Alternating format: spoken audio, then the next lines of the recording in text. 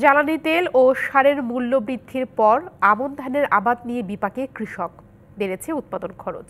প্রয়োজন মতো সারও পাওয়া যাচ্ছে না। এই সুযোগে ঝিনাইদহে উচ্চ মূল্যে সার বিক্রি করছে ডিলাররা। আর ময়মনসিংহে কৃষি উপকরণের উচ্চ মূল্যের সাথে খরচ বাড়িয়েছে অনাবৃষ্টি। ঝিনাইদহ সদর উপজেলার কৃষক অলিয়র লস্কর। বাজারে গিয়ে বাড়তি দামে পেয়েছেন প্রয়োজনের অর্ধেক সার। জানালেন ইউরিয়া ফসফেট পটাশ ডিএমপি সহ অন্যান্য সারের তীব্র সংকটের কথা।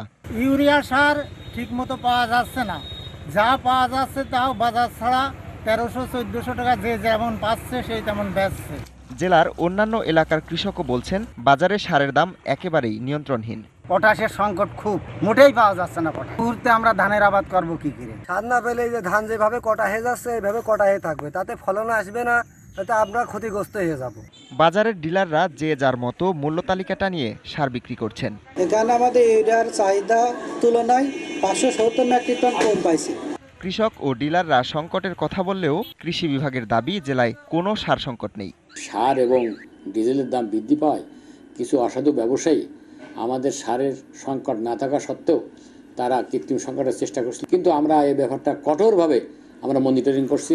জ্বালানি তেল সার সহ কৃষি উপকরণের মূল্য বৃদ্ধির কারণে বেকায়দায় পড়েছেন ময়মনসিংহের কৃষকও।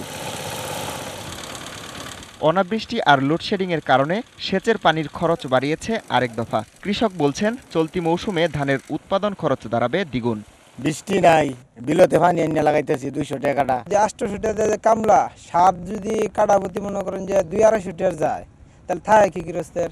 জমিতে পরিমিত সার সেচ ও কীটনাশক ব্যবহারের পরামর্শ দিচ্ছে কৃষি বিভাগ। পানি টোয়েন্টি ফাইভ পার্সেন্ট রিডিউস করতে পারি তাহলে উৎপাদন খরচ তেমন বাড়বে না। আমরা কৃষকদেরকে বিভিন্ন ধরনের জৈব সার উৎপাদন এবং ব্যবহারের পরামর্শ দিচ্ছি।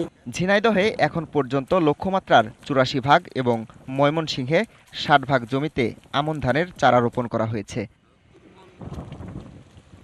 Habibur Rahman DBC news desk